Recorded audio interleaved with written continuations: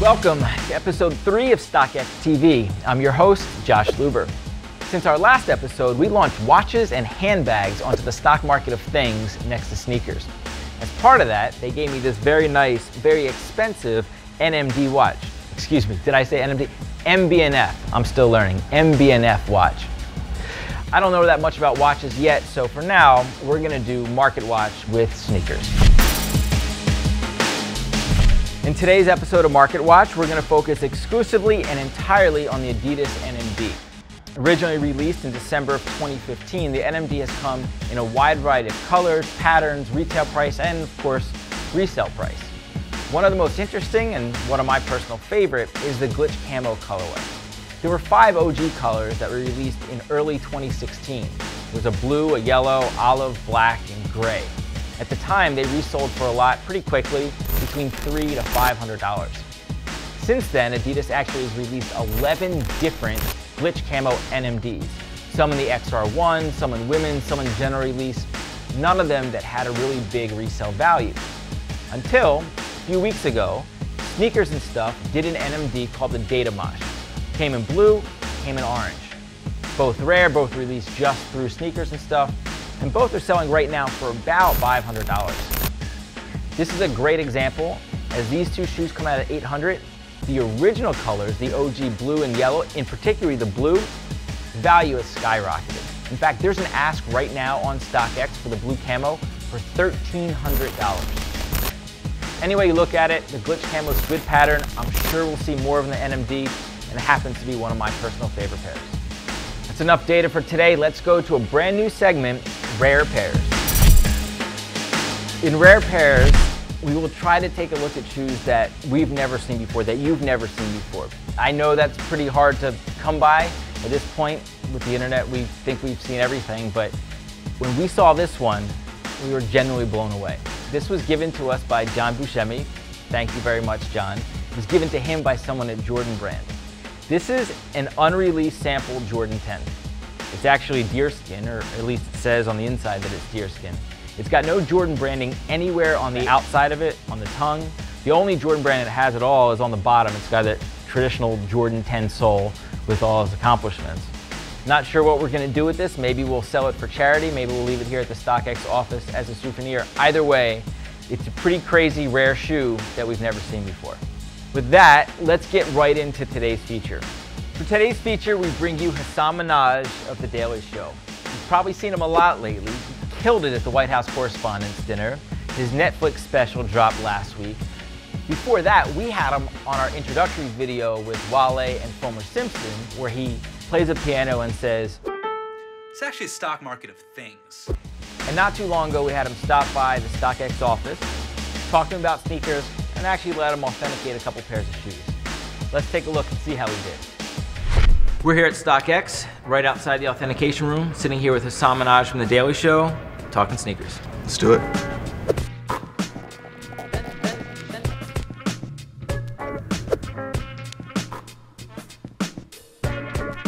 I call this the Koopa Troopa show. Like, doesn't this look like a Nintendo show? I remember with the 11, there was like the infamous where the Jordan was. When a person had a fake one, it'd be like Fat Michael Jordan. It's like, no, no, no, you got the, like, this is MJ on the Wizards. Like, he's got a gut. Like, don't. This is like Yeah. 85. Yeah, yeah, yeah. So dunk contest. Nah, yeah, he's not in good form right now. Like, he's had, had too much Cheesecake Factory Jordan. For starters, like let's just talk about that the Daily Show piece, right? Can you give like some background for everyone on like how it came about? Like I think everyone's pretty excited that there was a piece on sneakers on the Daily Show. Yeah. awesome, right? I was always a sneakerhead in the office. Everyone knew that I was a sneakerhead. And I was like, I, I want to do something that I'm passionate about. Besides, you know, gerrymandering and district. You know what I mean? Like, that, that's boring. But there was an act two that was maybe the most uh, controversial within the sneaker world, right? Where you were at SneakerCon. I basically broke the biggest code in the sneaker community, which is unds-ing a grail. I basically spit on the Mona Lisa, essentially. I would walk up to Bred ones and just start bending them in front of people. So yes, I did, I did defile Wow. uh, a national monument a, a Bred one Jordan, but then I did I did pay for it. That's good though that you, uh, although you could have totally fucked Comedy Central and grabbed like like a uh, repair Red Octobers or something. Yeah, like yeah, that, like- yeah. I think a dude legitimately would have punched us. Yeah. Like it would have been a Trump rally at SneakerCon. It would have been. Speaking That. of which, you guys did both of the conventions this year. Yeah. What's the difference in sneakers that you saw at a Republican convention versus the Democratic convention? A lot more cowboy boots. Okay. the Republican National Convention, y'all know how to party. It's like, what do you look for on these? This one's the fakes. You see where the three stripes are on the cage? Yeah. On the fakes, they're glossy. Other than that, almost identical. Like everything. Man, this is straight up like Santa's sneaker workshop. Like literally one sneaker at a time. Like, uh, boom, naughty or nice, boom. All right, send it to the kid. These are elves over That's here. bananas. StockX is about stopping fakes. You have any stories with fakes? Yeah, so when I was a kid, um, one of the things that you always want as a kid is, is like PEs, player editions. So Rasheed Wallace was a very popular player when, when you know. Do you see that? I was wearing my Oh shit! my, my ball don't lie shirt. Oh, that's Yeah. great. I didn't Yeah. know that. Yeah. Oh, fuck, that's great. Yeah, so Rasheed was like a, an awesome player that would actually play in Air Force Ones. I'm not talking about just because the Nelly song. Like he would play in Air Force Ones, and he had the infamous Sheed logo, basically him shooting the ball up here. It was great. So I was like, I want those shoes, and I would go on these. Remember that you'd go to these like random websites like AuthenticSneakers.com or whatever, sneakers with a Z or just something, and you would buy these shoes from China or some other country, and for $100 plus $40 shipping, you could get these shoes. And I remember I got the patent leather black and red Rasheed Wallace shoes, and you put them on, and it literally felt like I was wearing saran wrap on my feet. Like, and it's just like they fell apart within two weeks.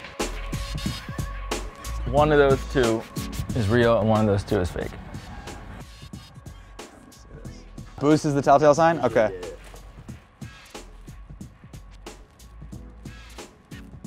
This one's a little bit firmer. This one's firmer. This one's like softer. I don't even know which one's the real or fake. I don't. I do not know. I know one of these is fake. Yeah, I just Uh, told you that. I know, I know, but I was faking it for like the Hollywood magic. Now I'm like, I'm confused. The only thing is like, you know, on the mattress pad here. you can tell there is There's a little bit different. There's a right? little bit of a difference. Yeah. Man, crazy? what's crazy? The fakes actually is softer. Yeah, here. Yeah, it's nuts, right? That's the fake. I was gonna say You're- this is the real one. Yeah, your mind's blown, right? That's crazy. Yeah. The person who sent you these, are they trying to pull a fast one on you? They might not know. Oh, thing, they yeah. know. Now you gotta write a letter to the, Oh, right, right, all right. seller. Dear seller, you played yourself. It says, Dear seller, you played yourself, not DJ Khaled. Hasan Minhaj, if you don't know who this is, please Google. Yeah, please Google. Yeah. That's great. There you go, man. All right, well, listen, Cool. after the Daily Show, you got a job here as an authenticator. Oh, authenticator. thanks, man. Cool. All right, man, I think we gotta uh, go do a show. All right, yeah, let's do it.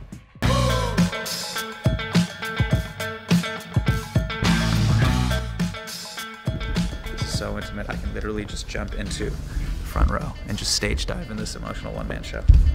All right, guys, it's showtime. I gotta go. See you guys there.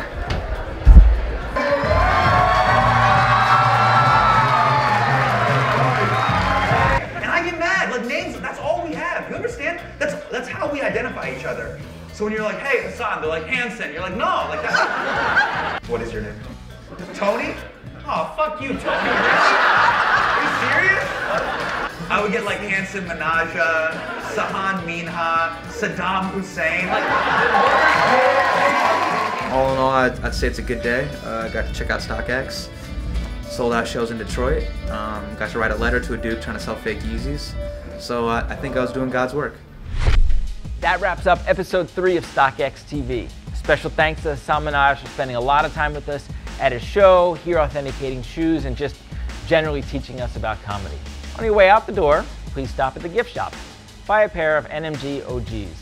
Maybe a watch, maybe a handbag, because a Jordan 10 deerskin doesn't even exist. Think about it. It's, a, it's almost, what is it, 11? It's 11 p.m. right now. In four hours, Donald Trump will be tweeting about how bad Nicki Minaj bombed at this dinner. And he'll be doing it completely sober.